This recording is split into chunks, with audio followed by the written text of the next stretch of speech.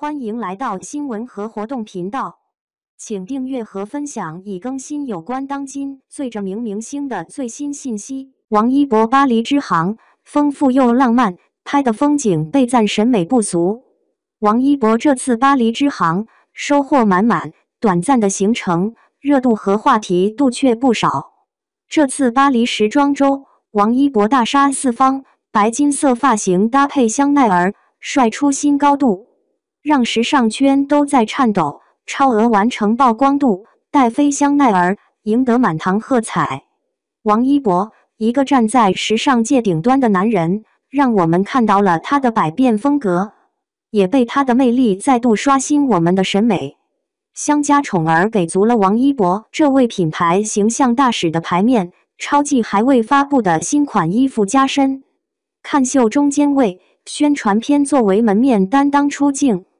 这次王一博巴黎之行安排的很丰富，在大秀结束后，在采访中，王一博说想去巴黎铁塔和卢浮宫，这是一个充满浪漫的地方，好不容易出去一趟，顺道可以放松一下。王一博是一个喜欢分享的人，上次洛杉矶分享了很多有意思的画面，自己也难得放松，去玩了过山车，打卡了好莱坞。这次王一博来到巴黎，分享了自己拍摄的巴黎风景。这次拍摄的风格很特别，审美是真的好，一放出来就收获满满的赞许。这组图中采用了黑白色调，有巴黎的古建筑、街景、晒太阳的法国老太太，还有法国运河和船只、法国的鸽子。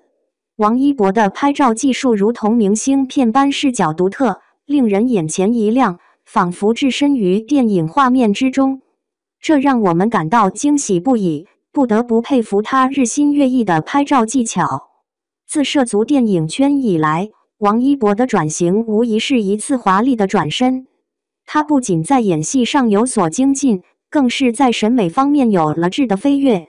他的艺术审美角度也深受电影圈的影响，使得他的创作风格愈发独特和鲜明。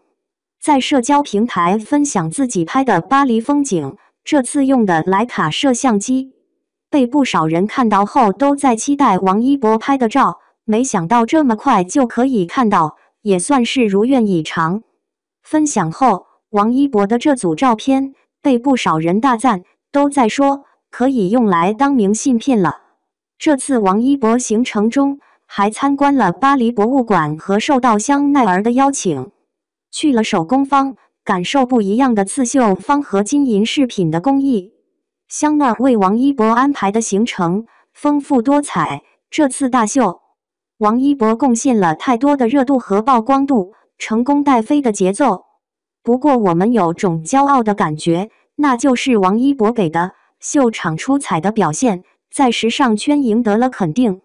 这就是王一博的魅力，他的实力和人气。远不止停留在国内，海外的影响力越来越强。